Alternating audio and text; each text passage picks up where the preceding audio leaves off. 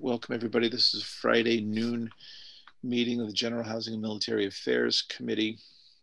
And we're going to pick up a conversation we started on Tuesday, which is to um, really address the future of um, housing, starting with housing the homeless and uh, the people who have been homeless before this um, uh, situation we have done this administration and the advocates have done yeoman work in getting 1700 people or so who have been homeless uh, who were homeless at the time of this pandemic uh, and the emergency period to get them into housing um, primarily in hotel rooms to get them out of congregate settings.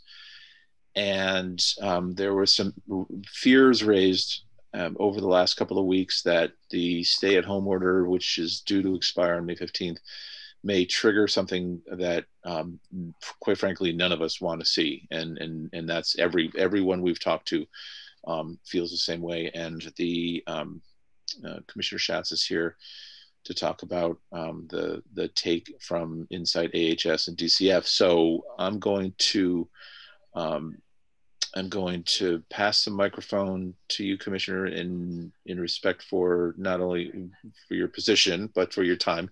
And um, if you could fill us in, when we last spoke, we were in that place of just taking that deep breath of saying, "Oh my goodness, we got this all done," and we got these folks into that place. And then, of course, I immediately turned around and said, "Okay, so now and here we are you know and i wasn't the only one but we are all in a place of okay so what's the next right thing to do? So um, i just like to go ahead and um, let you start with um, with what's going on at ahs and share some of the thoughts that you had in the memo that you shared with us. And um, and just just to mention to the witnesses and to committee that this hour and 45 minutes is going to go by very quickly. We have a lot of people. So um, so just I just want to keep that in mind. I want to be respectful of people's time. We have spent a lot of time in committees this week, um, and so uh, Commissioner Schatz, the microphone is yours.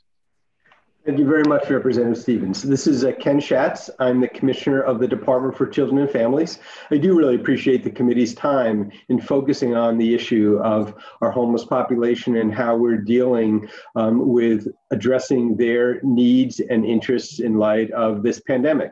It is incredibly challenging. I think it has been a, a really uh, positive story about um, the Vermont community coming together to actually do our best to address the needs of this particularly vulnerable population.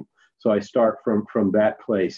I do want to um, introduce Jeffrey Pippenger, who many of you know. He's our, my senior advisor, and he'll stay along um, uh, on the committee, rest of the committee's hearing today. Uh, unfortunately, I will need to leave um, relatively soon after my testimony and finish of your questions of me. We, going to the point that uh, Representative Stevens mentioned, as I think most of you recall and are aware, we did in effect um, create an emergency exemption to our normal, fairly restrictive rules regarding GA emergency housing in terms of motel vouchers along the lines of the all weather conditions waiver. We did this in light of COVID 19 and in light specifically of the governor's um, stay home, stay safe order, which was due to expire, is due to expire technically still on May 15th. And so the waiver that we issued under the formal GA program was uh, to May 15th, consistent with the governor's order. But as Representative Stevens indicated, and we all do feel the same way, we know that we don't want to have uh, an abrupt change. So to be very clear, and we did send a memo to uh, stakeholders and the committee yesterday to confirm that we are not going to uh, close that waiver abruptly on May 15th. We are going to continue to allow those who are homeless to stay in motels uh, for the time being and as we work on and roll out a uh, transition recovery plan, which I do want to talk a little bit more about today to give you a sense of, of what we're thinking and talking about in terms of an approach and even process to move forward because it is not a plan written in stone. It is actually, at this point, concepts that we want to engage you as the legislature, but also our many um, uh, community stakeholders uh, to discuss to make sure that we are doing um, the best we can uh, to make this transition that is going to be important. And so let me start by um, talking about the fact that we, you know, we do feel good about the fact that as a state, we did effectively implement advice and recommendation from the CDC, from our own Department of Health, with respect to slowing the spread and of the outbreak of the virus, particularly with respect to the population of people who are homeless. Um, and frankly, good news is that as of today, I am not aware of any Vermonters who are um, experiencing homelessness who have tested positive for COVID 19. That certainly may happen. It's not as if the zero number is in effect uh, forever, but the point is we have been successful in um, protecting this vulnerable population, something I think, again, as a community, I think we can all be proud of. We know we want to get people into stable, safe housing. That's certainly something we've all been working on for years. And we needed to move quickly, again, as the chair indicated, in terms of we had an approach that utilized shelters in a very significant way that is um, an approach that we felt made a lot more sense than having people in um, numerous hotels all over the state. Uh, COVID 19 has certainly changed that. But we want to get back to uh, over the next nine to 12 months, if possible, uh, a, an approach that does recognize the need for stable housing that does not overutilize motels as a uh, stopgap solution for people who need emergency housing. So we're going to look at a phased approach to reducing the numbers of Vermonters in hotels. Um, as the chair indicated, um, you know, we're actually close to 1,800 people in motels as we sit here today, including over 250 children um, a situation that is um, good to protect people for the time being under COVID 19 and the fact that they're homeless, but is not a long term strategy. We know we're going to provide uh, uh, support for shelters to enable them to start up again. They'll have to do that consistent with uh, health department guidance. We know that they may need some additional support and technical assistance to enable them to reopen. That's certainly something that we are talking about. In addition, broadly speaking, I will say we also know, and this is where the legislature, I'm hopeful, will be a partner. We're going to need some new investments. We're going to have to recognize that there is a need for uh, a supportive housing in a variety of ways. We need to be thoughtful about what services really needed to be provide really need to be provided for this population. Um, and that includes services for, with respect to mental health, substance abuse, and other issues that this population faces. We're clearly going to need some financial assistance in terms of rental assistance for this group of folks. And obviously, the availability of actual affordable rental units is a key part of this challenge. So, we're going to work on all those things.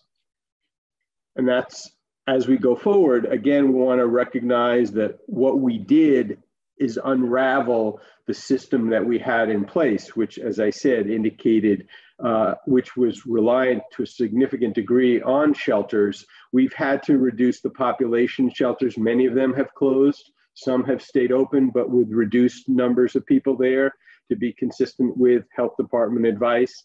And that's um, clearly uh, important to recognize that those shelter providers are doing what we've asked of them. Uh, they have, in, in fact, stepped up and continue to provide support for some of this population in the motels that they're now placed in. So, so that is greatly appreciated. I do also want to mention this. I think you know that we did work um, with the State Emergency Operations Center to look at the need for isolation and recovery um, sites.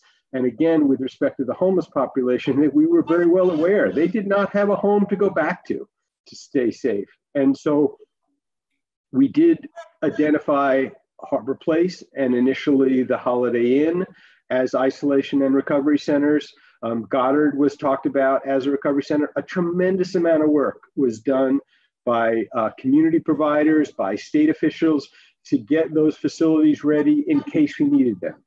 The reality is, and this is again good news, we have not needed them to any great degree. We have a small number of people in Harbor Place and Holiday Inn as we speak.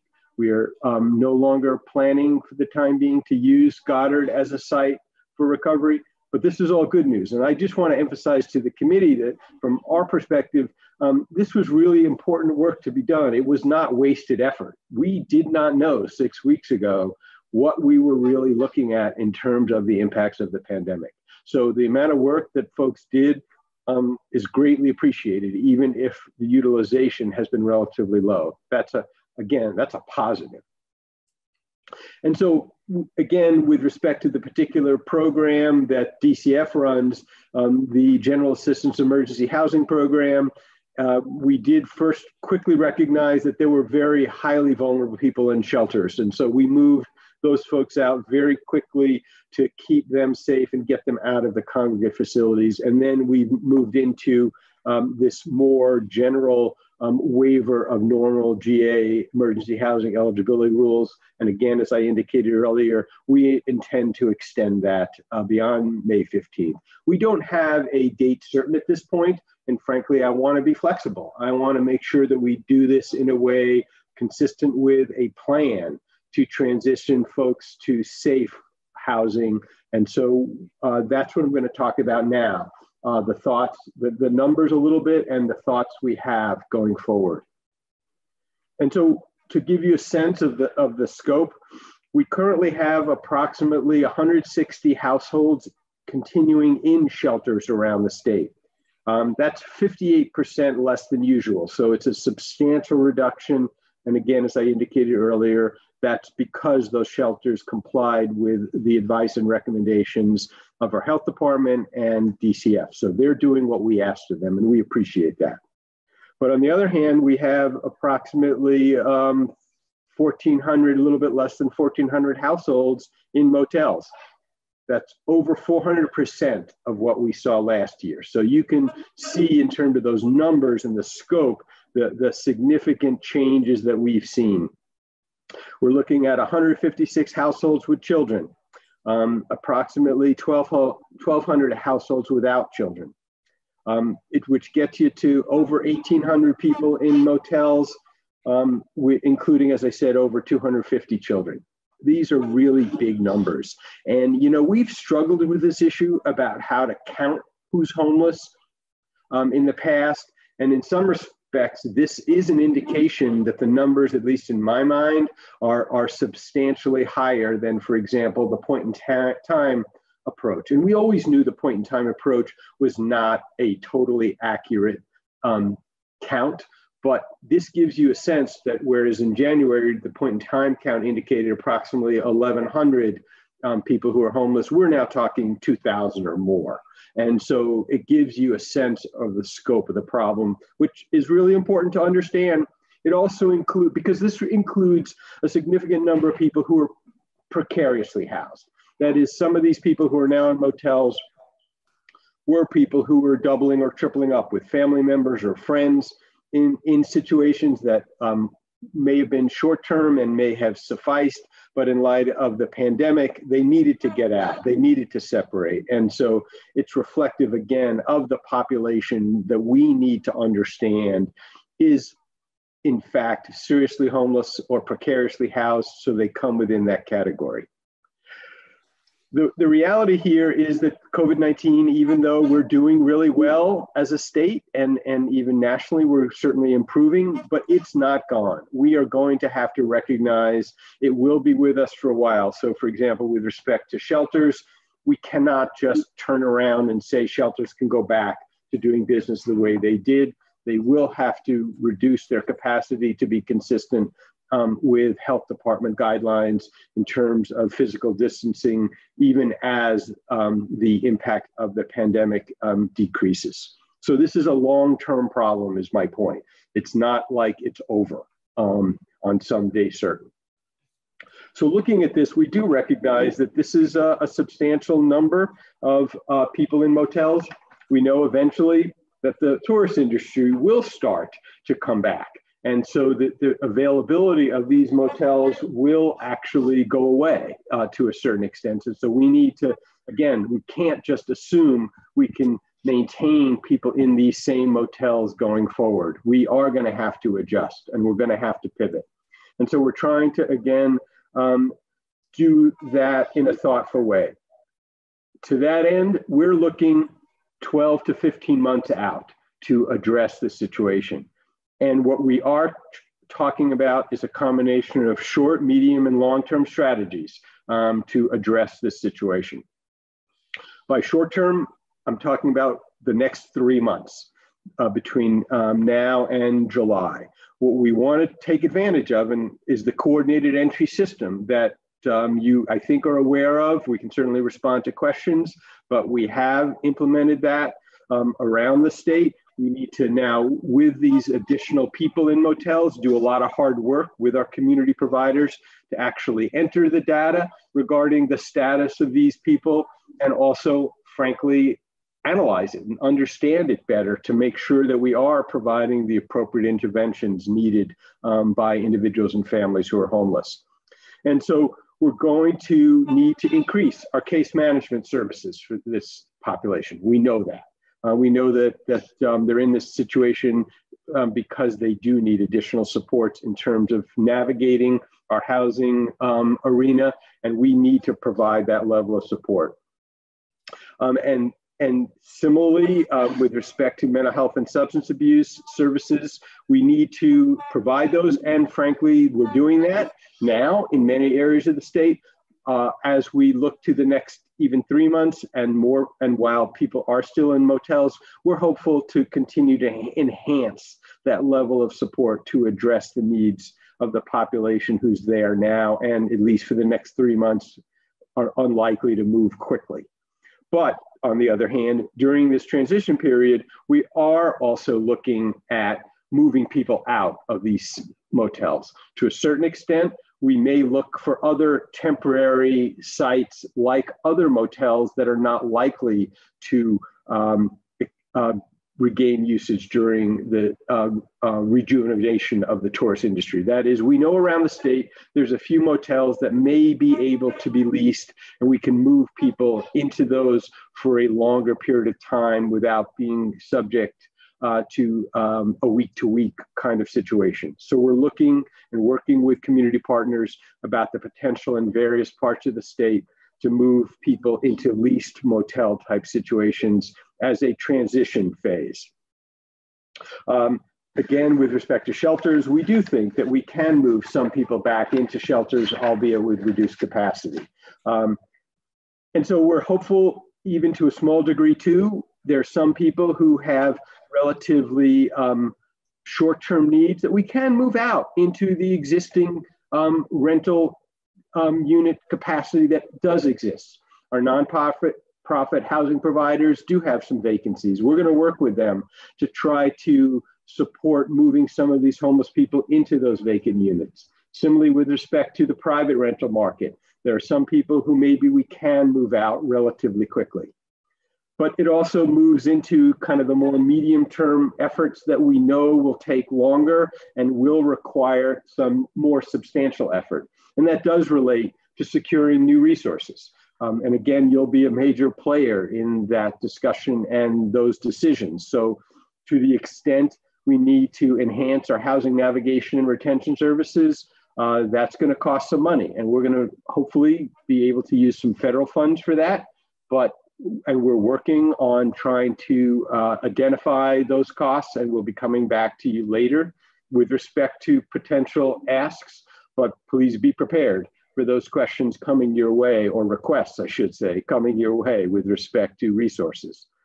Similarly, we're going to work with our providers to identify what both um, nonprofit providers and private market providers, um, what units can we access relatively quickly. Um, and to that end, we'll use programs like Vermont Rental Subsidy and other rental assistance approaches, recognizing that some of these individual and families simply can't afford the going rate uh, for rental units and they'll need some additional support to move into um, stable units. We uh, ate the um, Agency on Commerce and Community Development, and you may have heard from them already, is certainly aware of the fact that there's a, a, a portion of our housing stock that simply needs substantial work to be ready for people to move in. And so we're certainly talking with them about a rental rehabilitation program to fix up some of those units to enable people to actually take advantage of them.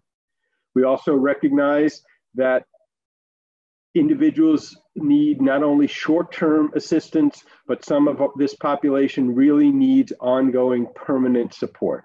And so we need to recognize that a permanent supportive housing approach um, is clearly necessary and one aspect of this plan that we want to look at what's the level of funding that's really necessary to provide those supportive services on an ongoing basis. The, um, other item that I would mention is, of course, something that you as a legislature have already addressed, and, and that's the eviction prevention arena. Uh, you've taken some steps and from my perspective, I appreciate that on the short term with respect to COVID-19, but we're gonna talk about this within the context of a longer plan to try to provide some support to prevent eviction. Um, and again, that obviously has some financial impact to be sure, but we want to reduce the number of new individuals and families becoming homeless by preventing evictions. And then finally, one of the most challenging, of course, is just increasing the affordable housing stock. And honestly, we know that's a long term uh, approach that does involve, um, again, the legislature, um, the Vermont Housing Conservation Board, and other partners. But clearly, as we look at these numbers of people in motels who are homeless and then turn and look to the housing market, we know we need increased capacity of affordable housing. So this is kind of an overall uh, concept plan that uh, we are talking about. We wanted to check in with you to see if you think we're on the right track. What we plan to do is going forward is work more specifically with community partners, frankly, with um, the Agency of Human Services, with ACCD, with the Agency of Administration uh, to come forward with more specific plans. Uh, we do look at this as a partnership, um, both with the um, legislature, with the administration, and our community providers. We know we need to develop a budget and, and give you some more specific information, uh, and we're working on that. And we expect to come forward with more specific proposals in that regard in the near future. So let me stop and um, offer myself up for you to uh, give me your questions and comments. Uh, one quick one for me, just to start. Um, Ken, we've been asked by um, VHCB as a representative of a greater number of uh, stakeholders to ask them to convene kind of a task force that would that, that kind of sounds like it would fit hand in glove with what you're planning. Is that something that you've heard about or talked about, and is that something that you would welcome? Certainly welcome it. What's interesting to me in this world, and there's others who are more knowledgeable, we have a variety of committees, coalitions that meet. And uh, my only comment would be rather than creating something new, does it make sense to charge one of the existing bodies to do this work? But I'm open uh, to whatever approach, but I do agree that there are a variety of partners that need to put their heads together and work collaboratively and an integrated and work in an integrated way to move us forward. So whatever form that takes is frankly uh, fine with me. No, that's fine. I mean, I mean, what you testified, the way you testified, you sounds like you've been in our committee for 10 years. So, um, I mean, these are all outcomes that we would like to see, you know, that we've all been um, discussing, um, but for the normal legislative and appropriations process. Um, so I think that we already have a leg up, at least in terms of what we want to do. It's just a question of having to get there. Um, Representative Troiano.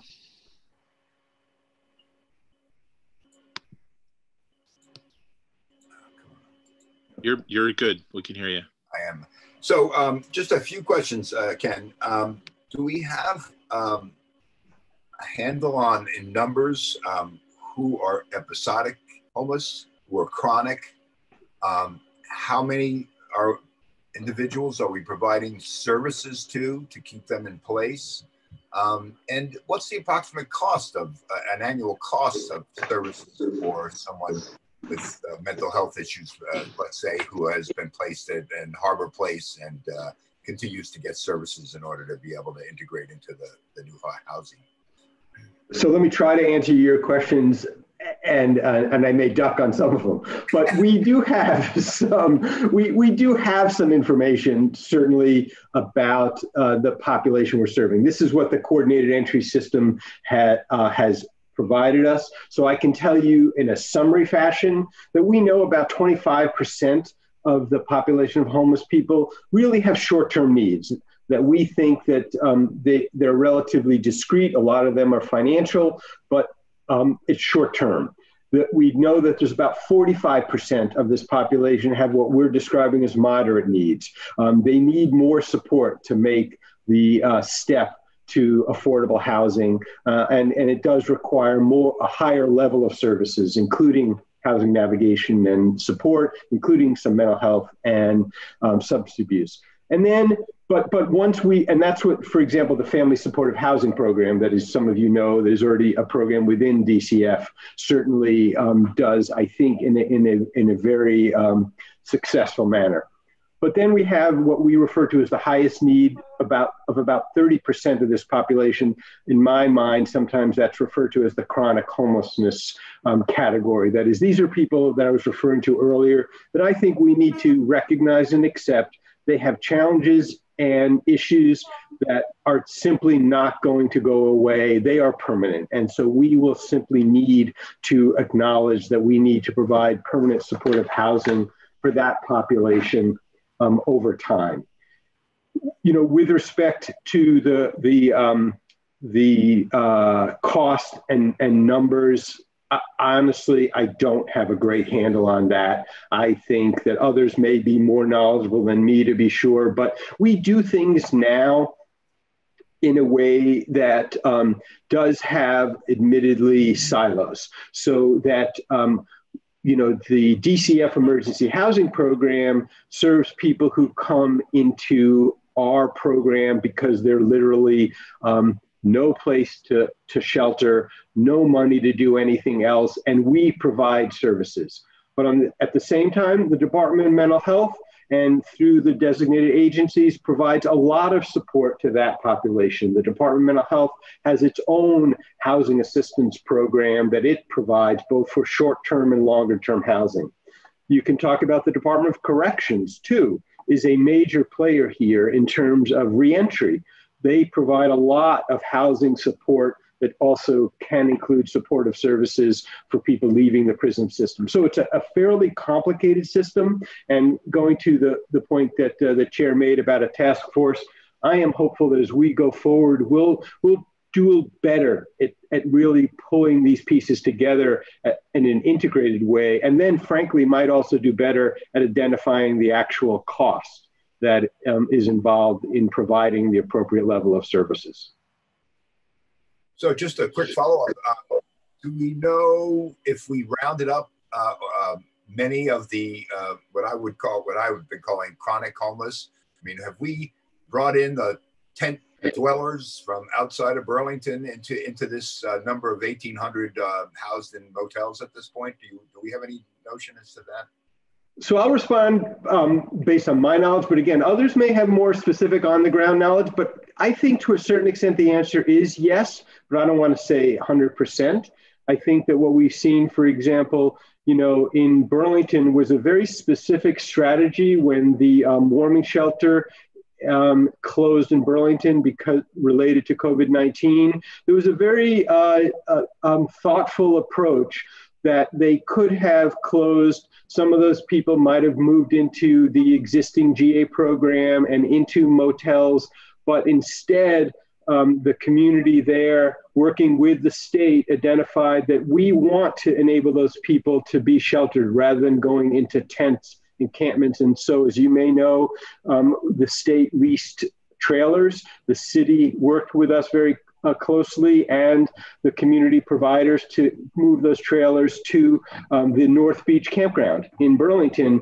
And from my perspective, that was very uh, def- definitely an approach to avoid having those people simply go into um, tent encampments. Instead, I think we're providing better support um, in that arena. And I think the um, openness to using motels around the state similarly has um, enabled people to be comfortable moving into those settings as opposed to staying in, tent, in tents. Outstanding. If if I if I may add um, um, to your questions, Representative Troiano, I think this is it's worth reiterating that this, um, despite the traumatic events that we have found ourselves in, this is an astounding opportunity for us as a system of care because we have an enormous number of folks in motels at this moment in time, and we can use things like coordinated entry to conduct the, uh, the necessary assessments to be able to put real numbers to what you're asking. And I think our community partners are doing an incredible job of reaching out to folks in motels and trying to get as much of that information as possible. Many of those folks that we are housing are currently in uh, the system in coordinated entry already, but there is a, a significant swath that is not. Uh, and so we're working very quickly to get those folks uh, into the system and assess so that we understand that need a lot better.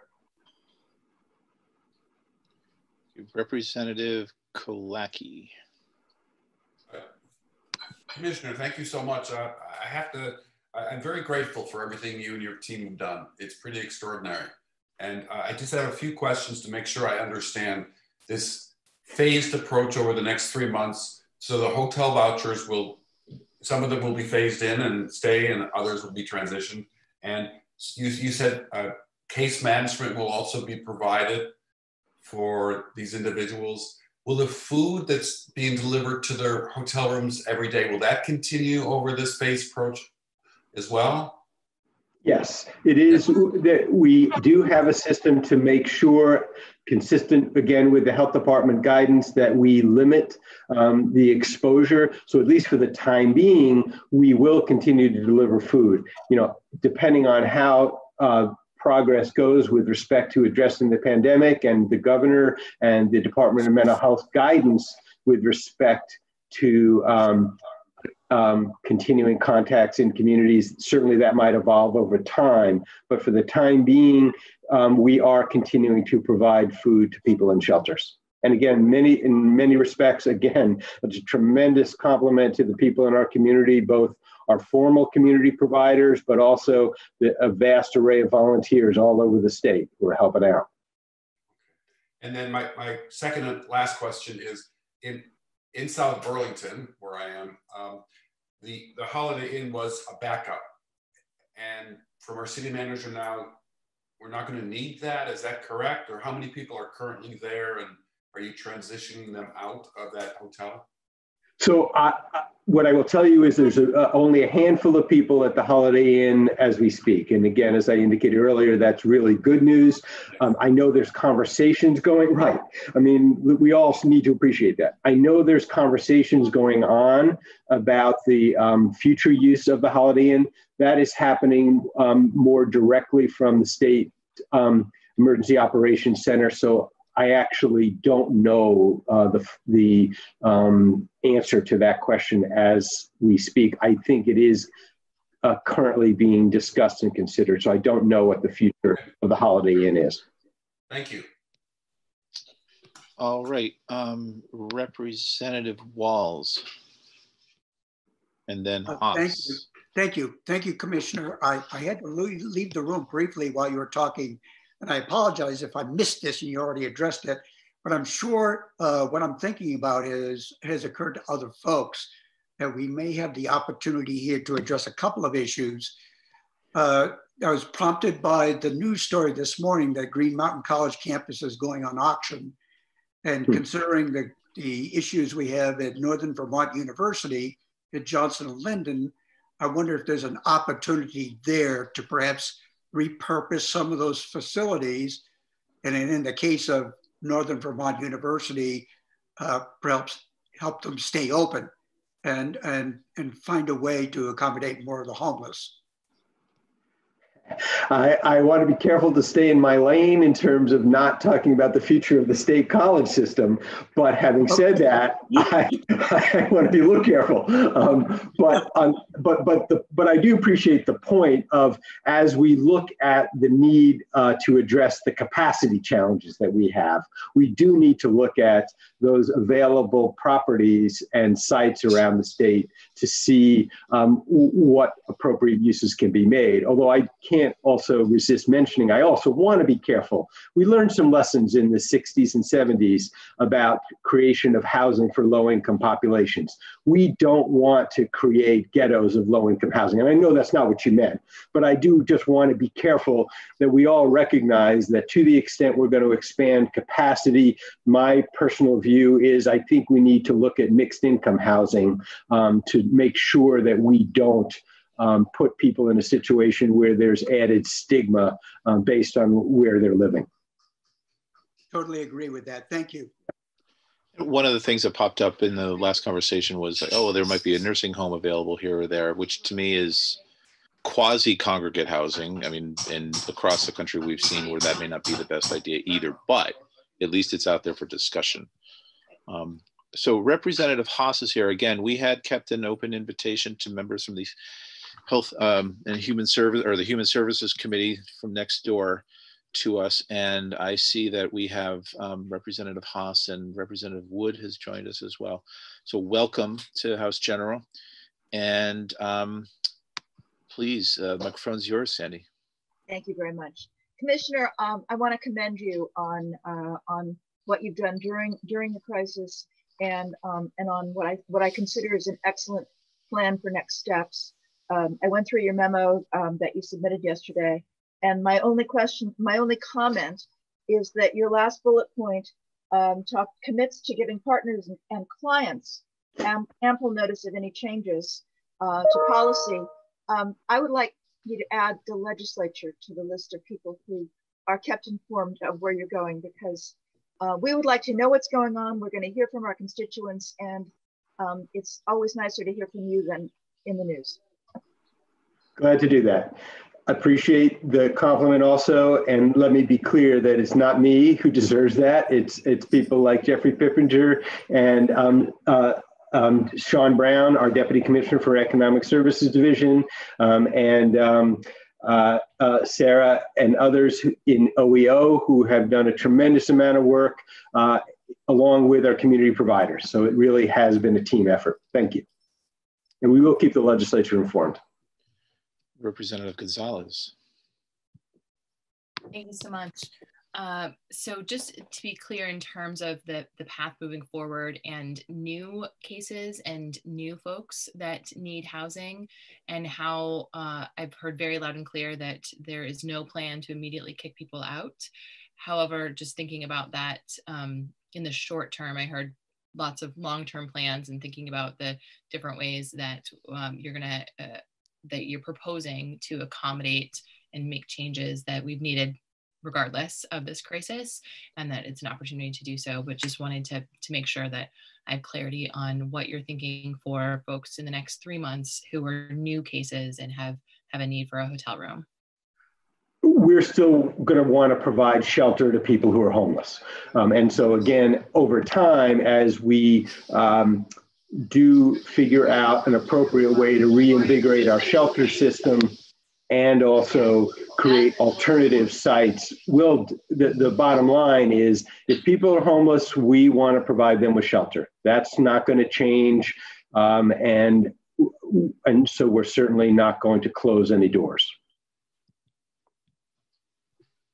Great. And then I have a, um, a an additional question that's not a follow up to that, um, but I appreciate that clarity. Um, last time that um, you were with us, I asked about translation services and, and um, specifically folks that are uh, precariously housed that are farm workers and, and potentially need to have greater social distancing to, for their own health and others. Uh, and then also generally translation services and, and wondering if you've given either of those two issues any more um, thought or work towards.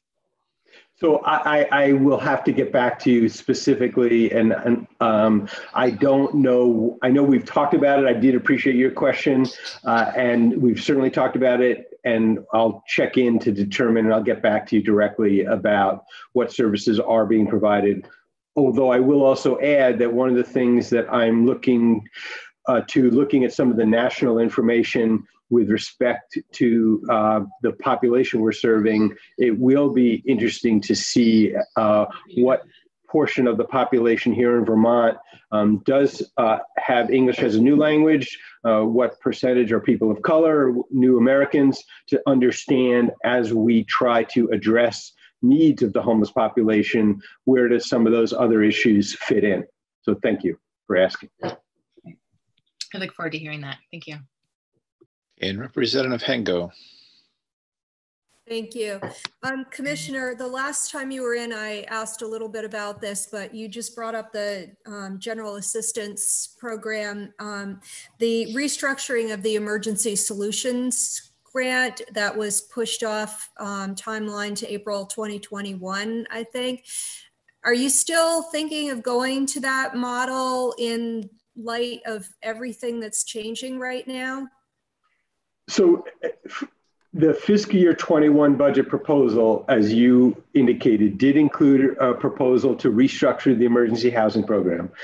I don't know what's going on with the fiscal year 21 budget, to be straightforward about it.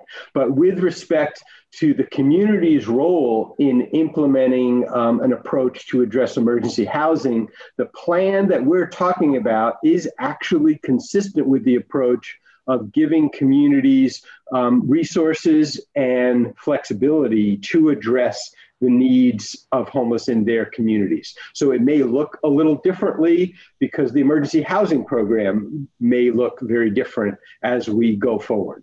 So the, the, the perspective of giving communities um, flexibility and resources is very much still in our minds. So if I can follow up, thank you for that. Um, I'm trying to envision this in my mind. Perhaps the state somehow purchases a property, for instance, and it resides in, let's say, the community of South Burlington, because Representative Killacky um, reminds us that the Holiday Inn is vacant now or will be soon. So then the community partners in South Burlington would then administer the program that's going to reside in that now state-owned, for instance, I'm, I'm conjecturing state-owned Holiday Inn property. So that's one potential model. Another potential model is actually it's not the state that buys or purchases the property, but it is a local housing provider or a housing entity in a community that buys or leases a property like that. And the state's role is to provide the funding to help support that effort. And so it's not a state run facility. Okay, so to, just to follow up very briefly, so then the state would um, send in the mental health workers and provide for their salaries and other community support type folks.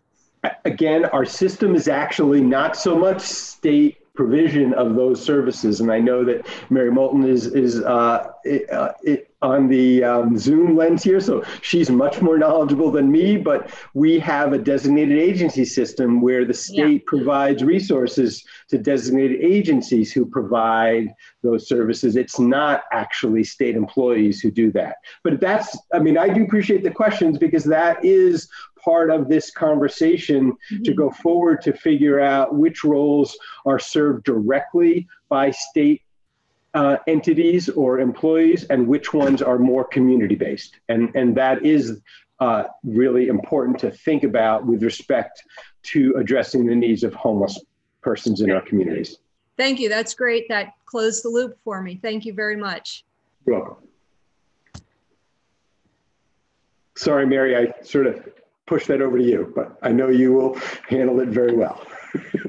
um, I, okay, Commissioner, it is according to my clock five of, so I want you to take off and to go to your next spot. Um, Jeffrey, I wanted to ask you a very question. I just want to be mindful of the time. It's almost one o'clock, and we still have. I still would like to hear from Mary and from Erhard and from um, we have Stephen Whitaker also who wanted to share some thoughts. Jeffrey, are you here to listen? Do you have more to share? um, before we get to Mary? You can unmute yourself there. Yeah. Uh, I will be here for the duration. Um, my only uh, addition uh, would thank you for the invitation to comment. And, and thank Um, you, and thank you, Ken. Please feel free to. We'll treat. Jeffrey. We'll we'll treat Jeffrey well. Thank you. I appreciate that. I am going to sign off. Thank you all. Bye now. Oh, I'm, um, the thought that I had, Representative Stevens, was simply that um, a, a couple of very brief things. One is that, um, and I know that you've heard this in many different ways over the last week from different folks, but I do think that we have an opportunity here um, to really look going forward and not just default to returning to how we've always done things. Um, these sorts of opportunities come around very infrequently. And so to be able to capitalize on the crisis, not to be so crass, but to be able to re-envision things and how we deliver services to folks is, is critical. While we are thinking about those strategies, those short, medium, and long-term strategies, I think it's also imperative that we that we do that in a very thoughtful way and in conversation with various partners within state government and outside of state government. Because we don't want to have a crisis, like knee jerk response in the recovery that then hamstrings us down the road, right? That we're stuck with a certain model that might have been expedient, but is not what we know is best practice. And then the last piece that I would say is just that, uh, and I think that you've heard this before uh, uh, this week as well, is that we don't necessarily need to reinvent the wheel in terms of planning and conversations about you know what's best because we know what the evidence-based practices are. We have the roadmap. We have other uh, efforts in terms of planning. Of the call, it emailed me. No, and that's fair enough. And I think that um, I think from my perspective, a little bit is is you know what opportunities can we take advantage of, but I'm also wary of saying, well, if we make these, and I, this may dovetail with what you were saying, is that is that in the end we have to be able to afford going down the line. Um, you know, there's the infamous case of the the swimming pool at White River. It was a gift to the community, but it ended up co- it cost the community every year because they have to provide those services. Um, and I know that the administration has expressed that kind of wariness. Also, like what money can be used from the CARES Act or any other money that could be used for these purposes. So it's a lot of thinking and a lot of sorting out. I think we have answers to a large degree, but it's going to be implementing them or coming to, you know, deciding what we can do. So thank you for coming and thank you for, you know, just, and if you do have um, comments that you want to make, please feel free to raise your hand um, throughout the, the, the rest of the meeting. We'd appreciate it. Um, Thank you so- very much. I appreciate that. and I'll pop over to Mary Moulton. Um, Mary is um, with Washington County Mental Health Service. Mary served within the government for years and years um, and without the government throughout the, in, with Washington County. Um, Mary, we heard um, just through the grapevine, this was over two weeks ago now, that uh, on one hand, um, there's been a, because people have been housed, and people have been some of the most fragile folks in in Vermont. That they're not utilizing some of the emergency psych services that they had prior. But that's not the end of the story. And I just wanted to you know wanted you to share what the, what you've seen and then what you can what you see in the near future um, to help us with our planning. Thank you. Thank you, Representative Stevens. So for the record, I'm Mary Moulton, um, the Executive Director at Washington County, and um, really appreciate being able to come and talk to this subject. Um, what I heard from Ken was really reassuring, frankly. I think we are um, actually singing the same tune. And uh, in putting my testimony together for today, you'll hear some of the same strains, I think, from our region around thoughts we have for putting um, short, mid, and long-term solutions in place that are somewhat in line. So what, what I will talk about absolutely in answer to your question um, is uh, our experience. And um, I am speaking when I say our, of a really great group of community providers. Uh, Washington County Mental Health is only one of many that have come together to work on this in our region. And we're really um, very uh, uh, united in uh, developing homeless uh, housing solutions for people who are homeless. So Uh, we were in this from the beginning in providing services from Washington County Mental Health and, um, and providing uh, services through Capstone and food, um, in talking about what our solutions might be going forward. Um, but uh, in getting people into the hotels, there was certainly um, a surge there within the hotels. And with that, um, we learned a lot about what we would need to do go, going forward. And so, uh, with moving the shelter, the Good Samaritan shelter, to the Econo Lodge, where people had individual rooms, and some of them going to the Hilltop in Berlin um, with other folks that were not involved in the shelter. What we learned there was that there really is a, a need for um, for some kind of understanding around ground rules and expectations on upon occupancy. Um, it wasn't all pretty, that's for sure, and we wouldn't expect it to be. So um, we uh, have been fortunate uh, in the last month uh, working with the state to get some security on site in those regions uh, in those areas. And uh, where we have the shelter, we have 24 7 staff, we have support there, we have mental health that goes there and, and offers up services during the day, just as present for people to come out and talk and get some support if they if they want it.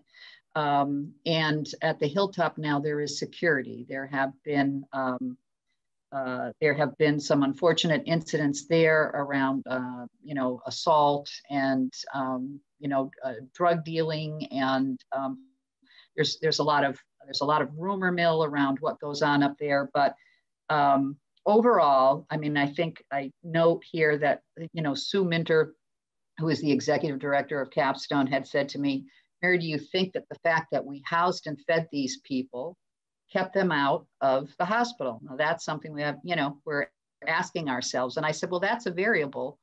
And there are a lot of people working on that. But I thought about it a little bit. And I think having been a crisis responder and my background uh, in crisis management, what we know about uh, when there's a major event and a disaster is that people really comply for a time and they settle down and there's a lull and so, yes, we housed people and we gave them food and brought them in, and they felt safe and they were brought in out of the elements. And we have learned so much from this experience that overall it was a very good thing that we did it. Um, and uh, then now you you know you kind of put the general stress that people have on that in any disaster, and then you put COVID nineteen over it and over time, you begin to see situations pop. And so now we are seeing people come into the ER and they are, um, they are expressing, these are people who live in the settings of the hotels that they're feeling a lot of stress that um, that you know they they can't they really want a housing solution soon that they really need more support uh, we had three people come into the weekend into the er over the weekend whose anxiety level was high whose fear level was high. There's, there's um, you know, there, there's uh, noise at the hotel. There's a lot going on there that they're very afraid of. So, um, you know, I, there is security at, now at the hilltop, and that is extremely helpful, even coming into the building. I think we're getting a handle on it. That's the good news. I really think we're getting a better handle on it.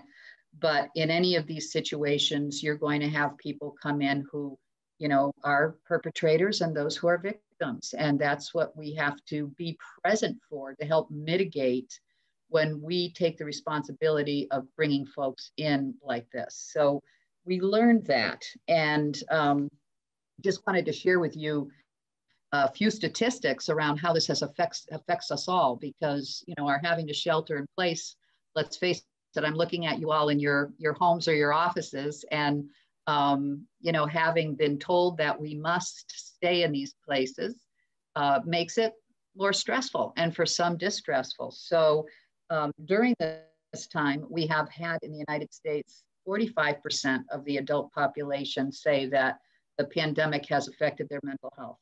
45%. And 19% says say that it has had a major impact on them.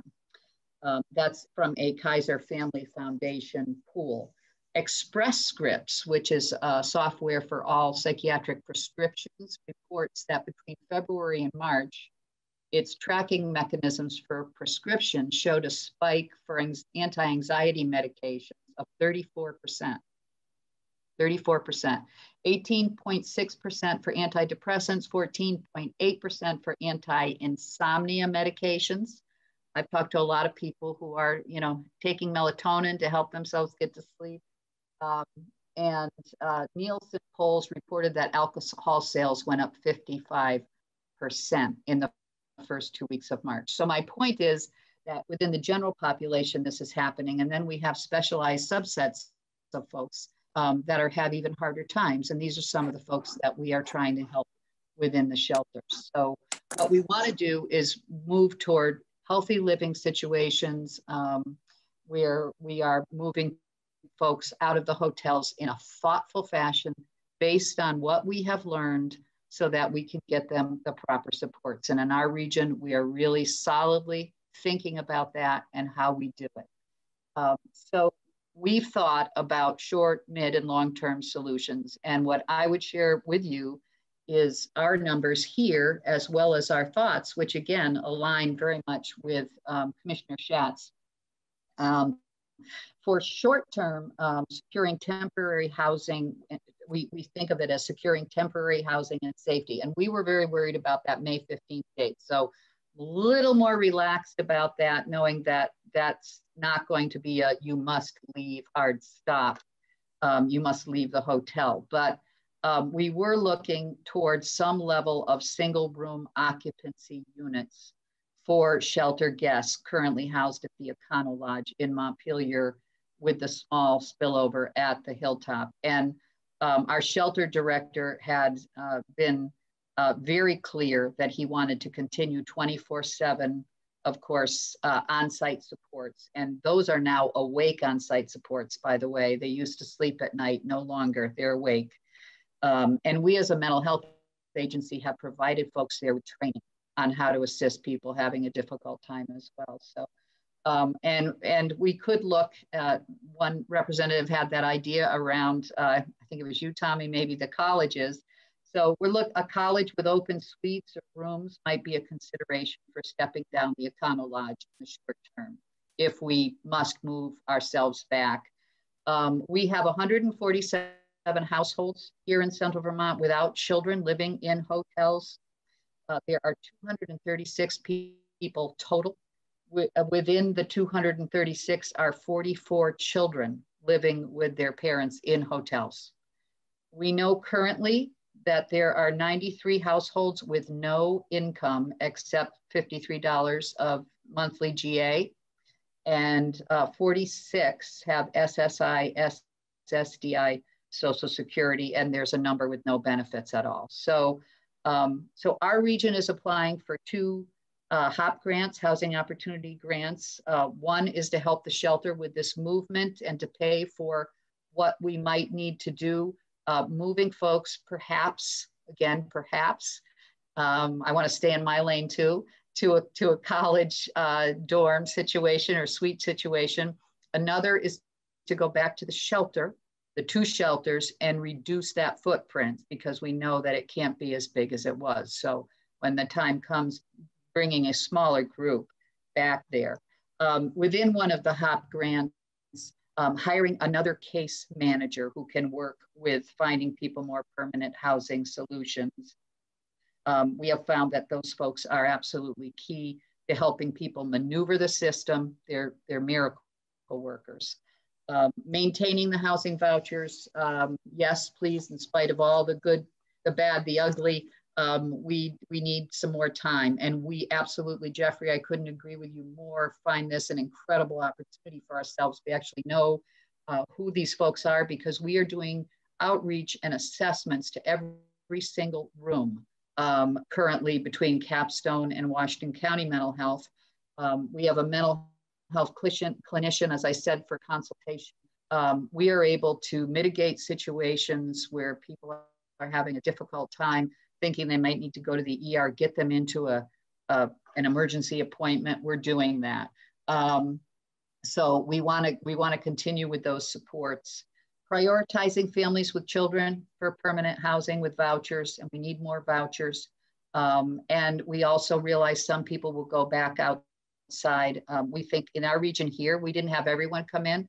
Um, we do have a street outreach team. We think there's 10 to 15 people who are still out. And if those are folks are going to leave the hotels and go back out, we, we, we realize we need a little budget to help them to have proper equipment um, and uh, to keep warm and safe outside. Um, midterm, um, we kind of typify this area as securing funding, planning, and available housing. So we move toward that. We hope we hope there'd be an extension of existing hotel housing vouchers, and I think that's probably the um, what did Ken refer to that for? Um, that's the uh, maybe the eviction um, prevention piece um, where we really want to see people who face eviction uh, be able to have that taken up off their off their plate. And certainly ours as a community we do not want to add to the numbers i just gave you more people. I think we all we all understand that. So you know an example we have we have we have and we also want more flexibility continued flexibility with being able to help people to solve their problems and not just go toward eviction and then start that cycle and not be able to get back in to get housing. Right now, we were working with a mom who has four children and she's uh, kind of blown it in, in the area of reach up requirements, but she's back engaged, yet she is way behind in her rent. Um, if we can't get dollars for her, you know, she might lose her housing and we she's re-engaged with case management. So we're, we're just trying to get things back on track and would like to have some continued flexibility to help her. Um, more project-based vouchers within the state affordable housing system.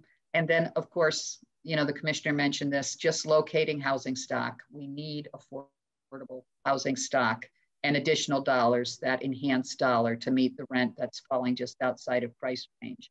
And we've talked about this a lot. Um, Ken mentioned this, a bundle of money for repairs um, to help landlords um, to fix things, to open up their units. They've closed units to us. And um, so we need to open those back up. And if we could assure them, um, in some cases we can because we have bundles of money, but we need more in our region that um, we could um, have money for repairs in case there's something that's destroyed within their units, it would be very, very helpful.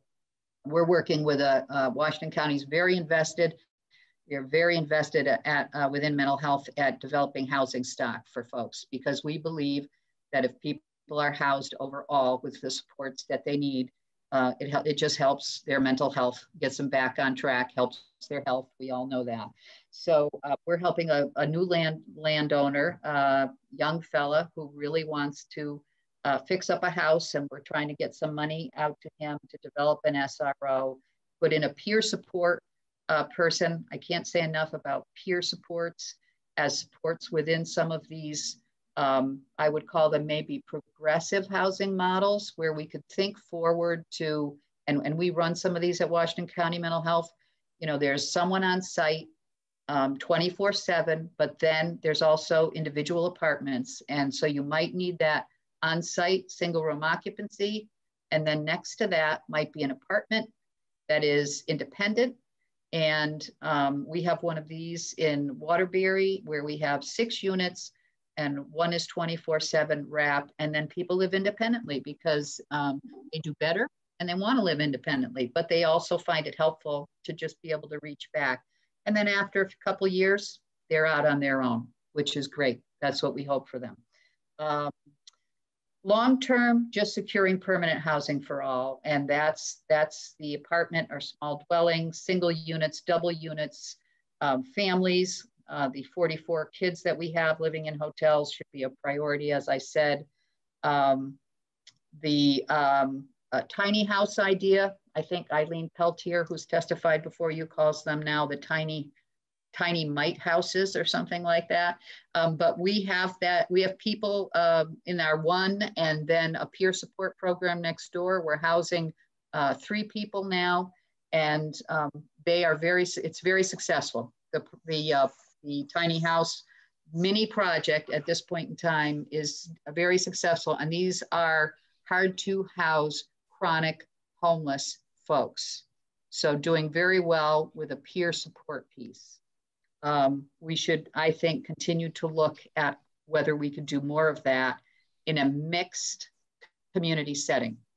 Um, essentially, uh, we're looking to be creative and look for flexibility and financing.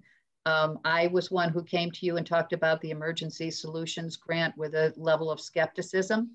Um, I think that my concern uh, is mainly around will we have enough dollars to do what we need? And will we be supported um, by the state with those needs? And so you know this this whole pandemic has in fact kind of pushed some of that a bit. And i think um, maybe because there are federal dollars come in coming in it will be more hopeful to find the dollars i'm not sure um, but if we have to put someone in for additional um, supports, we do need additional money within our budget to do that. So uh, we have to get those dollars from the Department of Health um, or from some other entity.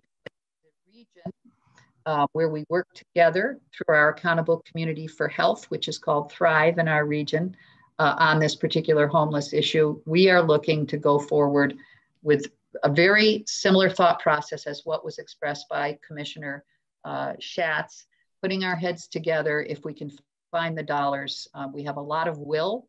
We need the flexibility. We need the dollars. Um, we've got the creativity and the willpower. So um, with that, I think we, will we, I just want to thank you for the support you'll give on this and to assure you we'll be putting these thoughts into a letter, which will go next week to the Secretary as well, outlining what, um, what a lot of what I've just spoke to you about. So I'll close at this point. That's great, Mary. Thank you. And I think what we'll do is is move on to Richard. And, and if you were going to be here, then we'll we'll save questions for you for the end if we okay. haven't. But um, and I believe that um, Eileen referred to them as tiny mighty houses or tiny mighty houses. Yeah. um, So um, Richard Williams is here. Uh, Richard uh, has testified before our committee before. He's uh, the executive director of the Vermont Housing State Housing Authority, which controls the Section 8 vouchers and also helps manage the statewide vouchers, which were developed over the last 10 years since um, and this is Richard. This is kind of where I want you to just give us a quick little background on the ideas that were um, that happened 10, starting 10 years ago and how it affects us now, which is when the state of Vermont lost 900 to 1,000 Section 8 vouchers. Um, so uh, maybe if you can give us an idea of what the numbers were, how many we've reclaimed, and what it means moving forward in terms of developing or adding more capacity to the statewide program that already exists. Thank you. Good afternoon, representatives. Uh, thank you, uh, Chairman Stevens, for the opportunity to testify before your committee here today. Um, the uh, some of the uh, the part of your introduction, uh, Mr. Chairman, was you know I've been in this business for uh, 46 years, and I've you know was involved with the uh, Department of Mental Health uh, many, many years ago, uh, more than I would care to even think about, uh, about, about uh, developing a bridge program that actually, you know, got people from a temporary uh, small assistance that Department of Mental Health was providing to get over to the federal Section 8. Back then we called it certificate program, now we call it the voucher program. Um, so that was an initiative in the state, you know, going way, way back. And uh, and then of course now the uh, Vermont Rental Subsidy Program that many folks, and including Mary and Erhard that are on here today, um, and others were very responsible. Uh, and with the uh, generous support of the uh, Vermont legislature to fund the program, uh, I think has been very successful. as you've heard some good testimony already, and, and you'll certainly hear more coming. Uh, but uh, before you folks left town back in March 13th, I think it was, you know, the problem was uh, the problem that we were speaking to you back then. Pretty much same problem. Uh, talking about this three-legged stool, uh, that uh, approach, which is, you know, talks about the need for capital dollars, rental assistance, and basically wraparound uh, services uh, and more funding for, you know, our community partners that actually provide uh, the services uh, to these vulnerable populations. You know, the par this pandemic thing is, you know, is probably the worst thing that most of us have ever experienced in our life. Um, but it, it, but as other speakers have said, it's created some opportunities for us.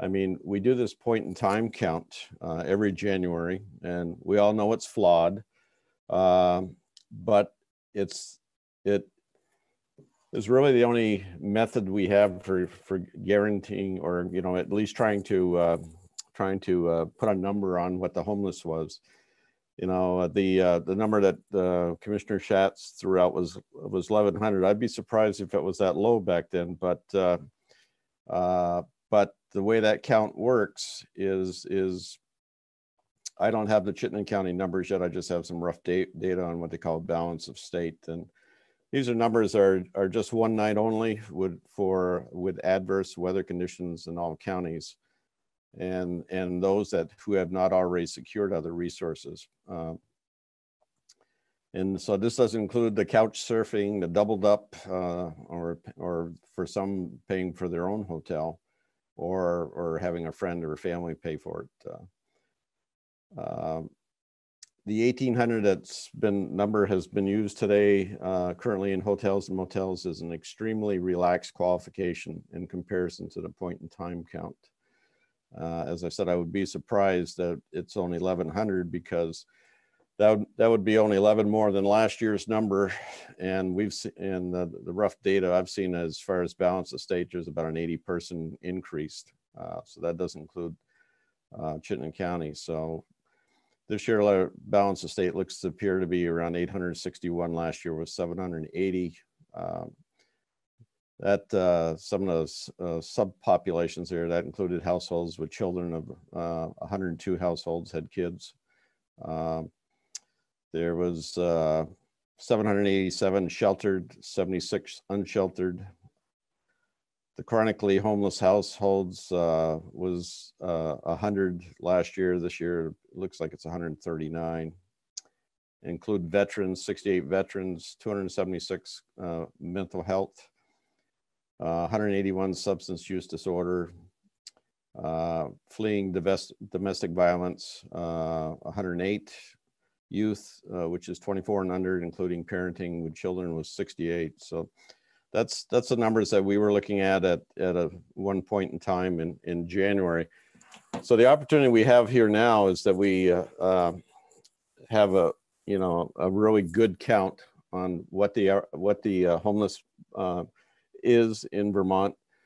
It, uh, it, it is obviously very terrible times that we're in, but it also provides, you know, great opportunities here uh, to try to develop um, a system, you know, working with the legislature, working with the administration to really drill down on this. We know where folks are and the, you've heard about the coordinated entry uh, program. Uh, this is a great opportunity to get those folks into the system and to uh, to drill down on what their needs are and to uh, try moving away from you know it's i think i heard someone testify i think maybe actually it was gus seelig uh, you know he's i believe started with uh, the, the, Community Action Agency in Barre in 1977. I started for Vermont State Housing Authority in 1974. So uh, we're some of the older folks that have been around. Uh, but as Gus said, there wasn't any shelters back then.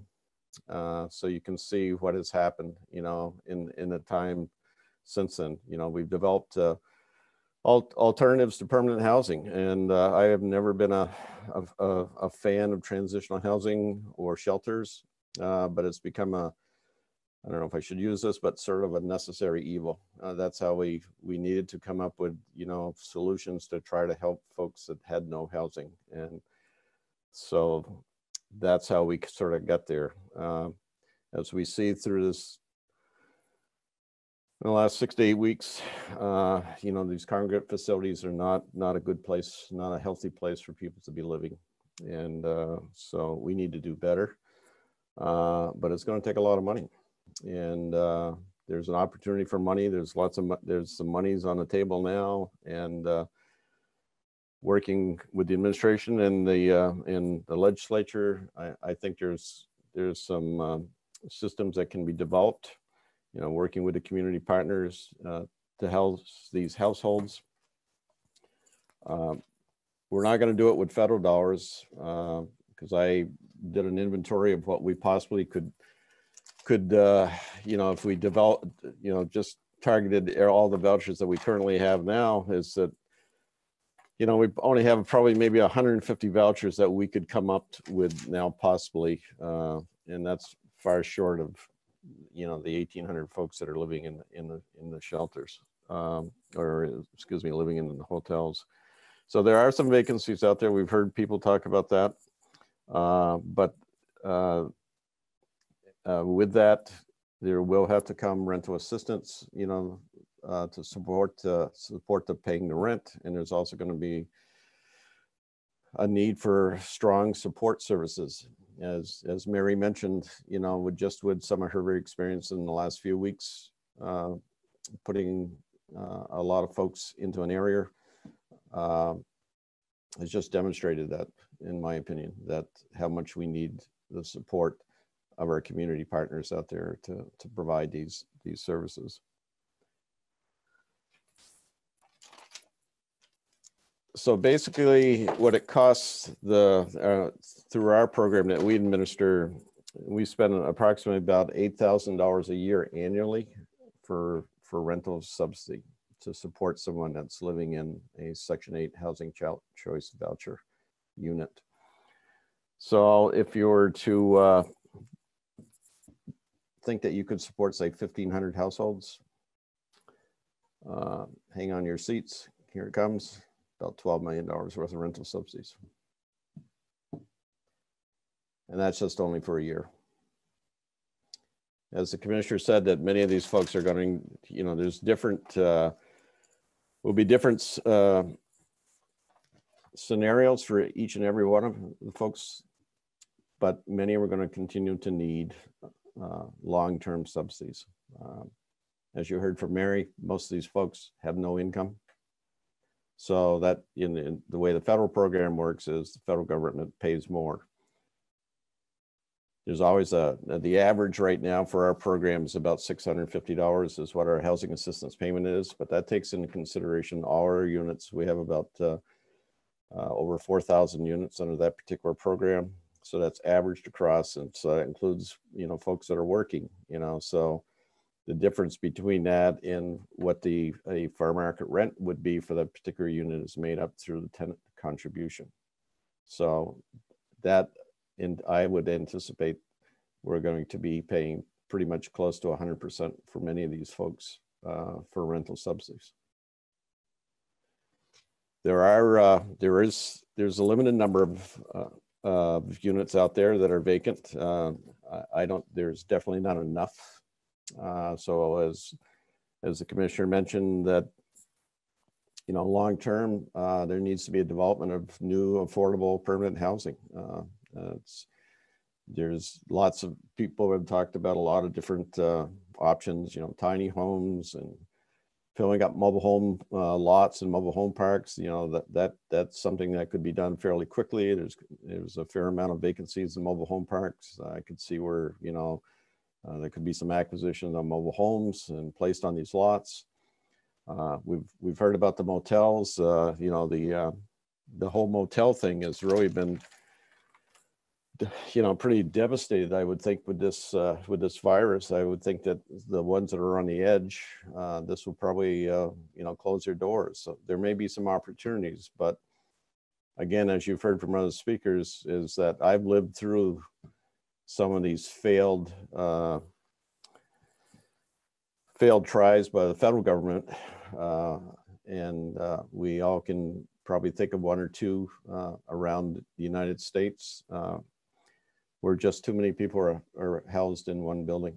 You know, it's uh, we we got to be very careful, and I know nobody wants to do that, but we need to be very careful that uh, you know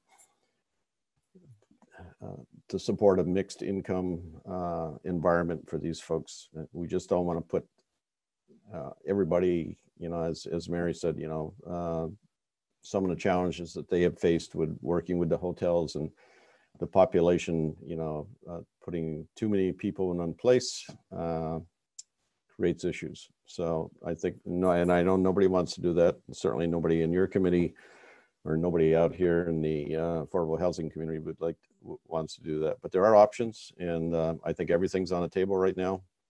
Uh, it's like I said, it's a terrible time that we're living in, but it, but what a great opportunity. I mean, you know, Erhard's been in this business as probably as long as I have, and you know, we've been talking about trying to come up with solutions, you know, for all these years, and you know, and it's here. It's right before us. It's on our plate.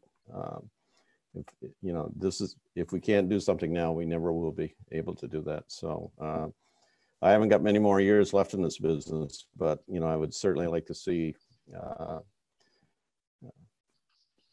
you know the support that's behind this right now is uh, is uh, something we need to see continue. You know, so you know we've got the short term goals. You know, as to how to deal with uh, with this population, and you know, I don't. I I heard a, a pretty large number what it costs to support people in in the uh, in the uh, motels. In I don't know if it's an accurate number or not.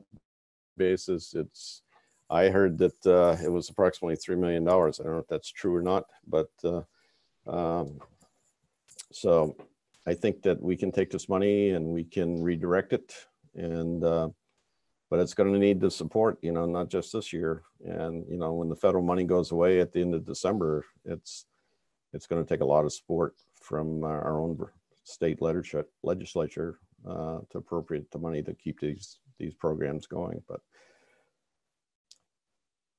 the problem's just going to get worse because of all the lost lost jobs. So we've got a lot of people out there that if they're not homeless, they're not far from it. And uh, it's you know losing your you know it's how how quick do we get our economy back up and running?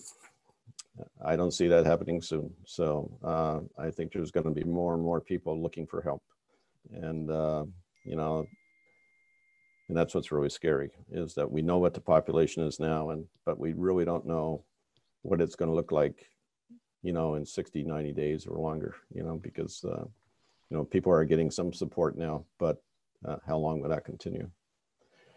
Richard um, a quick question is for clarification. Um, and i think i'm not sure if you used the phrase but or, or if mary used the phrase about um, just a reminder about project-based vouchers versus the individual vouchers. Now, I believe all of our state issued vouchers are individual vouchers and we have project-based vouchers was something that was much more in vogue 30 years ago than it is now, but they are what helps make some of this housing stable because because an individual may qualify for a voucher and then they have to find a place to live and a landlord to to to find it. But then if they move or including moving out of state they can take that voucher with them as long as they still qualify. Is that are those still the same same rules or same definitions of the of the vouchers?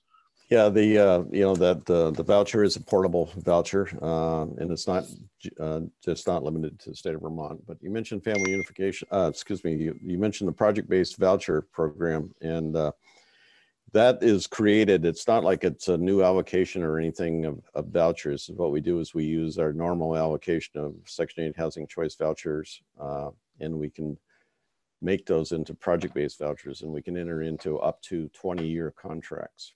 In fact, today we just released, and it's up on our website, uh, uh, we're funding 12 affordable housing projects uh, that uh, just went through a, a recent uh, competition, which is about $842,000 annually in our Section 8 program uh, budget authority. Uh, so that's is uh, it's um, I think it's around 12 different different projects throughout the state. So that that will be long-term permanent affordable housing. Uh, some of those went to private developer uh, developers, and but the majority went to nonprofit developers. So that's great. Um, I so see that, that. So you mentioned something about project-based. Uh, you know, I, I, there has been some uh, conversation, and maybe Jeff Jeffrey wants to jump in or not, but I think there was an opportunity to do project-based uh, subsidies through the Vermont Rental Subsidy Program, but it's going to take a guarantee, and you know, typically that's hard for legislature to make those guarantees going forward. That you know, forward funding of a program, but uh, I think that's an option too uh, and the project-based vouchers really that's what it takes uh, to really get permanent affordable housing. Uh, that's what the developers are looking for. That's what many were using tax credits either state tax credits or the uh, you know 4% or 9% credits through Vermont Housing Finance Agency. Uh, but the project base is what brings those capital dollars to the project because they know that those units are going to be uh, occupied. They know that there's going to be at least uh, 80% or more of that uh, housing assistance payment will be paid. Um, in, our, in the case of the, uh, the project-based vouchers, the federal government, but this case, it could be the state of Vermont. Okay. Um, Representative Troiano.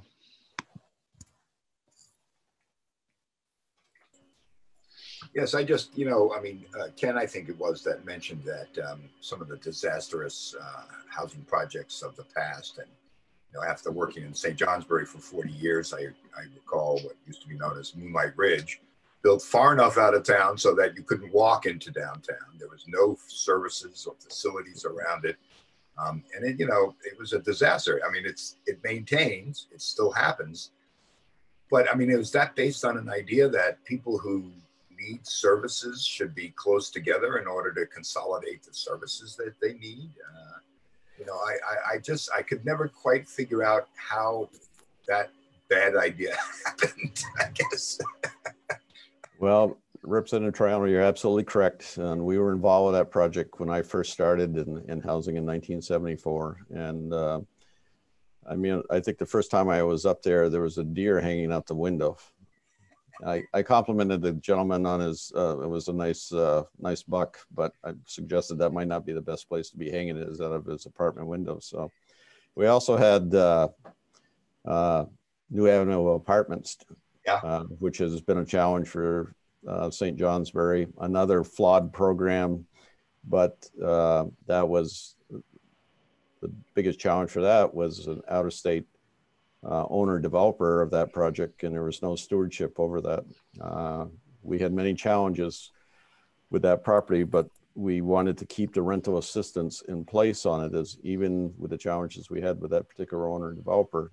Uh, and now that's going to be under great new stewardship. Once we can get the get the construction crews back in there again, uh, that's going to be housing that you know town of St. Johnsbury can be very proud of. You know, yes, I mean most appropriate as a downtown as a downtown de uh, development piece um, is is of great interest, and I think that it will happen. I think that you know, in the I I, I watched from my office window for a number of years. Um, the various owners go through and make a valiant attempt at trying to fix a you know a, hundred year old furnace and keep everyone warm and uh, um, uh, rid the bed bugs from there and and, and such. So I have great uh, hope for uh, this new project.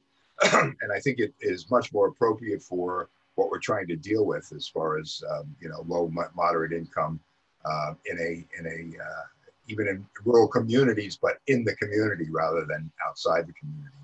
Um, and I, I, noted that vouchers are being transferred so that um, those who are displaced as a result of this project uh, will be able to come back if they so uh, if they want to. And and use those reuse those vouchers. So I thought the whole thing just really came together well, and I'm I'm looking forward to uh, revitalizing downtown, both with jobs, um, you know, uh, apartments, and and the commercial space, which is all empty right now, and um, has been unable to uh, to be rented because again, you know, just uh, water and sewer problems and uh, heating problems.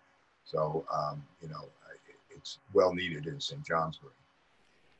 Yeah, you're absolutely correct. You know, I think anytime you saw any flurry of activity over there, it's probably after a threat from my office of terminating a housing assistance payment contract, and uh, that usually got their attention. But uh, you know, now you know, Rural Edge is involved with that. Housing Vermont's involved with that. Uh, they're going to have private management uh, once that gets up and running. You know, we we worked with all the residents to help relocate, find them housing. Uh, as you said, they can come back if they choose to. Um, you know, or if not, but it, it's still there will be project-based vouchers for that. Uh, and I really think in getting that commercial space back back available. Of course, you know we're we're a whole different times now, but you know it's how how are we going to you know you know support our downtown businesses that we have already and at the same time create more. But it's such a great opportunity for you know some other retail space there that's just uh, you know, just basically it's been boarded up. It's been an eyesore. I hated to drive by that building, you know, and I couldn't well, imagine you folks empty. living in the community. So yeah. 12 empty uh, commercial spaces uh, just in the two blocks of downtown. And you didn't want to go in that Chinese restaurant because they, when they walked away from it, they just left it the way it was. So not a, not a pretty sight. But no, I, I think it's a good point, uh, Representative, is that, you know, it is critical to wherever this housing is built that it has access to services and not to overtax the the folks that are providing the services as well because you know every you know rural vermont or northeast kingdom you know their capacity is much different than you know you know some of these you know service agencies that are operating in chittenden county so you know and so wherever it's wherever this is going to be you know housing is going to be built the supports need to be there and you know supports come in the way of dollars uh, and that's how you know folks are able to support the staff uh, that are really doing just unbelievable things out there working with with the, the vulnerable population we're talking about here. All right, thank you. I, we were expecting another witness, and we're, I'm going to give him a little bit of leeway. Um, Stephen Whitaker, who you may know, wanted to testify. He provided us with um, he provided us with some uh, information that is on our website right now. Um, but he's i'm going to give him a couple minutes to, to, see if he he was listening in on the youtube. And so stephen if you are available please um, request to come into the meeting.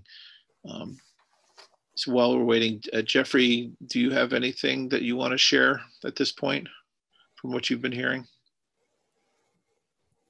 No? Okay. I mean it, you know the the breadth of the problem or the the breadth of the possible solutions is just so it is so big. I mean, Erhard is here, but I've asked him to come back on Tuesday to not only talk about um, issues that are directed directly related to the to the work that he's provided us, but he has also been on top of the federal funding and trying to get an idea as much as anybody else has to try to get an idea of, of how the money can be spent, what's actually coming to Vermont through small state minimums, as he's discussed before, but also perhaps we'll have some ideas about what the larger CARE Act is about um, for us. But also, uh, I would like to, and Erhard also advocates at times for pathways. We've heard from Maura Collins, who's the chair of the board, and we've also heard in the past earlier this year from Hilary Melton, who is the executive director of Pathways. We had they had asked us for support for the expansion of pathways into more um, I believe it was going to be uh, $900,000 was the request this year to expand it to two more counties, Rutland and perhaps Bennington County. And the pathways model as what we were, it, the, the, housing first model, I don't think those phrase, that phrase was used by the commissioner, but when we're talking about what's the fastest we can get to um, to the getting these services out to people, Pathways has shown that between the housing and the service, the wraparound services, that it's been very effective and cost effective as well. Um, I'm going to, is this Stephen? Yes, I'm here. All right. Um, so I'm going to, um, uh, Stephen, I trust you've been listening. Um, we, it's 1.45 now. We're going to try to end as close to two o'clock as we can today, but I wanted to give you, you have, you've been expressing to me offline the, the desire to weigh in on what you see, at least here in central Vermont, as some of the, some of the important issues um, from from the folks that you know and from what so I, I just wanted to be able to give you an opportunity to share your thoughts with us. We see we've seen um, or we know that there's material that you provided us that's on our website right now. But um, i just wanted to go ahead and pass the microphone to you if that's okay. Yeah that's fine. Thank you mr chairman. Um, stephen whitaker for the record uh, been living in central vermont for 30 something years. I've worked in on and off with affordable housing and energy efficiency for some decades before that. So, but I, think uh, in timing uh, is appropriate. Mayday, Mayday, Mayday. We this uh, homeless support services system was broken before the pandemic. It's worse now, even as everyone is more tolerant out of necessity due to the pandemic. Uh, the complacency, the tolerance of the indignity even the cruel neglect is pervasive. Uh, and we hear this constant refrain of everyone's doing the best we can. Um, I suggest that I know some communities are doing what's called a sleep out uh, for the homeless, where the decision makers, the policy makers, the uh, public officials actually experience what it's like to live on the street. I've been an advocate for many issues, but specifically, I spent the last year working with the homeless population in uh, central Vermont. There were over 150 people uh, last summer uh, spread across outside of the shelters. Um, and you've heard plenty of numbers now. Uh, but, you know, in order of priority, I just want to kind of ground this from the folks there's a number of people who do not fit into the shelter system. Um, I, I, just went and talked to four or five of them this morning. Uh, for various reasons, they're either they've been banned by Good Samaritan, uh, they have they can't deal with that uh, control paradigm, um, anxiety issues over claustrophobia, whatever.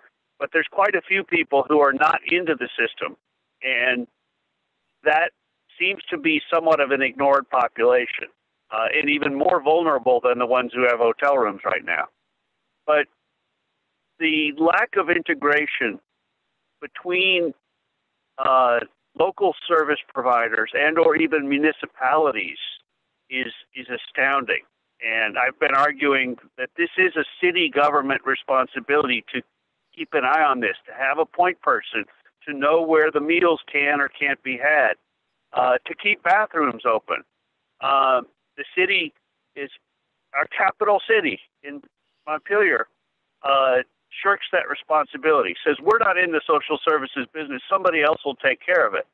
Now there is there's a new you know county command center that is supposed to be taking care of it, and it and nothing could be further from the truth in order of priority, the needs of these folks on the street is food, toilet, safety, privacy, showers, laundry, restful, deep sleep, as opposed to being roused on a bench somewhere uh, by every noise as a possible threat. Supplies, human trusting connections to other humans, and almost facetiously, I put hope and plans and faith at the bottom because by the time you get to the bottom of that list, there's very little left in many of these folks' uh, view of the world. Uh, there's, I was somewhat, I was, I was interested but somewhat shocked at the nonchalant manner of the witness from uh, one of the White, White River Valley shelters talking to the Senate Economic Development committee yesterday on the same topic, but talking about the it's okay to put these lined up cots head to toe so they're not breathing in each other's faces. Yeah, they might be smelling each other's feet, but that that's acceptable. I mean, I, I beg to differ. Uh, many of these folks are angry and they're acting out as to be expected. Uh, some of their socialization skills have atrophied over time, too much time on the streets. And we hear this tired story that it's often their own fault, it's due to mental illness. The, the care, or more accurately, the neglect of our society for this population is causing mental distress. We're compounding the challenges and the future costs of reintegrating our brothers and sisters. So, yes, there are unfortunate circumstances, and it's a vicious cycle addiction, mental challenges, lack of job skills, reputation. But where's the transition plan? We, this is the real opportunity, and I am hopeful that we would seize the opportunity. But what I'm hearing sounds like more of the same because our community partners are part of the problem. The, the complacency, the uh, whew, the state the state approach. Uh, you, you hear it referred to the the road to end, end, ending ending homelessness, the roadmap to ending homelessness. And to me, it's a wish list for when a half a billion dollars becomes available. There's no specifics in how to make any progress in the meantime. To be holding out until there's enough money to build quarter million dollar apartments, uh, an unlimited supply of quarter million dollar apartments to put folks in, is is an absurd, is a is a fairy tale. Uh, so, in in Ms. Peltier's comments to uh, the committee last week was that she's unaware of any substantial planning for this transition. And that's in her written four page testimony to the Senate Economic Development Committee. That I find shocking because she's one of the co commanders of our, you know, Washington, Northern Orange County, uh, you know, command center. But where where is the planning that's going to work in direct partnership with the folks on the street? This won't even work at a county level. This has to work at a municipal level where you're seeing the immediate needs, where you're taking care of the immediate needs, and you you can't ignore it. At a county level, you can ignore it. I talked to someone who tried to enter the system, uh, found gets told from Barre Capstone, oh well, we got a two week waiting period or more. Uh, so yeah, we'll schedule you a couple weeks out to get you an eval if you sign away all your privacy rights. And and no, we won't come to Montpelier and meet you uh, because we can't afford an office in Montpelier. I just found that, and I even raised that with uh, Director Mentor, that that is so out of touch with served population. Served population doesn't plan two weeks ahead; they plan a day or two ahead. Uh, the idea that you can't get, have an appointment in Montpelier was just off the charts absurd. Uh, it's it is naive to imagine that there will ever be enough housing stock to simply whisk anyone off the street and lodge them in an apartment with a private bath and kitchen. Vermont could very well end up attracting thousands of indigent folks from all over the country if we don't anticipate and create a plan for upward integration leading to productive reintegration to paid rental housing and even tiny home ownership. Some of this will require, some few, hopefully few, will require ongoing transitional and supportive housing, not necessarily mental health supervision. So while the housing first model is important, we need to not wait until we build, rehab, or invest in very expensive, fully outfitted apartments and converted motels to single room occupancy. It's important to design a system in incremental steps for upward mobility that rewards initiative that provides opportunity while it enables the dignity of work.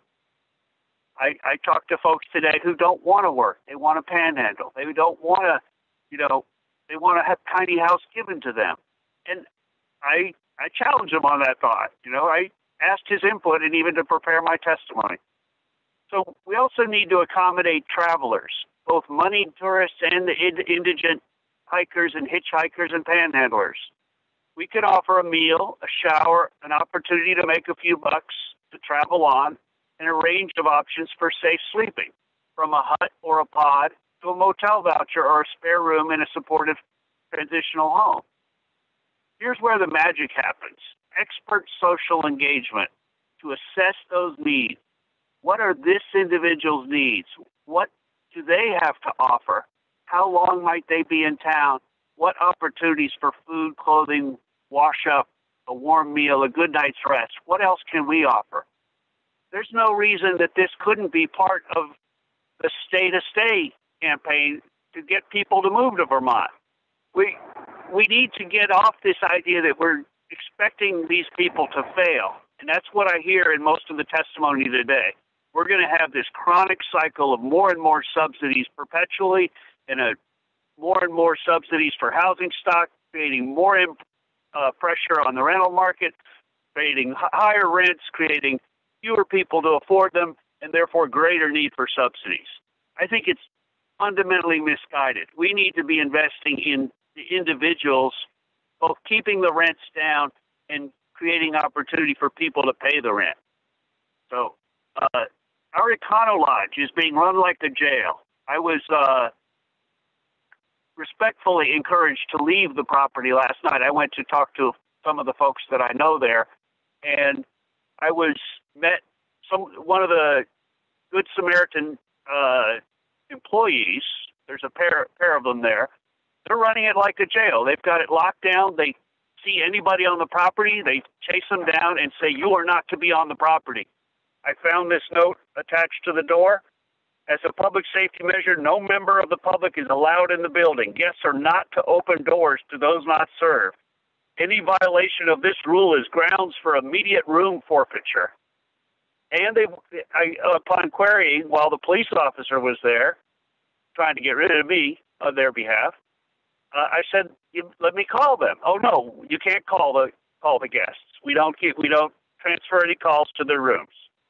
I'm like, what the hell is going on? I've sent some pictures of the food they're serving, both from MREs and Salvation Army meals with less than a handful of, you know, beans or pasta and a piece of white bread and a pat of butter. I mean, we have opportunity here with our merchants that are down right now to be preparing amazing food and delivering it to these, but we're not coordinated that way. We're, uh, I'm sorry, I'm a little passionate about this. So the assumption is that you will fail rather than succeed. It's contaminating the soup. They're serving horrible food, MREs, no visitors, threat of forfeiture. There's a code of conduct that was not attached to the letter, which I was able to achieve as a result of a free public records request. The, the guests who are staying there have not been given a copy of the code of conduct that they are supposedly living within. It's not provided at the locations. Uh, there was one report of a guest saying one of the staff was brandishing a gun during one of the rides, uh, claiming to be an ATF agent. They removed the computers. There's no internet access. No telephone calls. No. I think I'm making the, enough of the point. So I believe our somewhat unaccountable nonprofit partners are spending large amount of funds from the state, and the state LEL office becomes a partner in protecting the legitimacy of those grants, not necessarily in opening up transparency into what happened. These nonprofits claim to not be subject to public records law. They don't reveal how they're spending their money. Good Samaritan is spending over half a million dollars plus other donations, and there's no transparency there at all. You know, it's uh, additionally staff, and because of the common board member or chair of the common board, uh, uh, another way is the day center here in Montpelier, and we've got problems staffing. I've witnessed the staff there referring to the guests as worthless, hopeless. You know, just the, the most grievous, demeaning, and condescending uh, way of characterizing the people that they're supposed to be there serving. So when we, I hear testimony that, oh, this is the peer support. I'm like, who, who, where, who's been drinking what Kool Aid? So this, there's a, a staff member who is, well, let's not get personal. There, there's an environment of demeaning, autocratic, authoritarian, retaliatory, and punitive behavior of, in these facilities. Uh, one person working there was intimately involved with a guest. Uh, somebody asked for a grievance form. They were fired. I mean, this, this is an out of control management, and these are what you're calling community partners shovel more money at them. This is absolutely wrong. There's also no appeal route. I contacted a number of board members and was told, "Oh, I'm I'm not interested. I don't care. I, I I'm I'm leaving that board." I mean, the boards are not engaged to the point of actually fixing any of these problems. So what you've got now is a system of resentment, subjugation, guests treated as lesser than, the homeless are lorded over. Now, it may be possible to reform these organizations, and it may not. Uh, those falling outside of the system due to intolerance of this or are sleeping under bridges. There's no public restrooms open anywhere in town. There's one porta potty with no sink, no shower. So I'm sorry, I have I've run out of time and I know I have another 10 minutes here. So how would you like to handle it, Mr. Chair? I'm sorry, we have to wrap up now, Stephen. Um, I mean, what, what, I mean, we hear your message that, that, that, you know, you're feeling like the organizations that we're talking about under these circumstances are not acting up to a standard that you would, that you expect certainly, that we should all expect from them. So. Let me um, close on a higher note and ask you to take a look at the uh, submissions I made. I sent a few extras in about food and a problem statement that I co-authored with some others uh, advocates in the community. Uh, but the Conestoga huts and the pods are what uh, are an incremental step that are less than a thousand dollars or or so. Yes, tomorrow was prepared to start building those this spring. Uh, I think if I get another opportunity, I will. I'll, I'll need to dig into this coordinated entry and the privacy implications. There's an absolutely failed privacy governance around that. But but the the opportunity for uh, a new model is what I would like. I, I can't. I, I'm competing with another. Uh, You can follow. Well, we will take your, um, we have your material that you sent us on our website and that will be part of our homework. Um, we will be picking up this issue again next week uh, with different testimony. But um, no, thank you for your time and thank you for sharing your thoughts um, on this. It is, uh, it is. well, will I will I have an opportunity to complete what I'm waving on right now? Because that's we, we- can we do we have- can we can talk about fitting you in um you and i and and the the um and my administrative assistant uh, committee assistant can work on finding a time um if you would like to continue testimony but we we need to finish today and um as you know we're we do have limited time but we will work with you to try to find more time for you in the next week or so thank you. all right um committee, it's 2:03 and I want to be respectful of our schedule and our time. Um, we spend, um, so thank you very much. I think I'll adjourn today's meeting and um,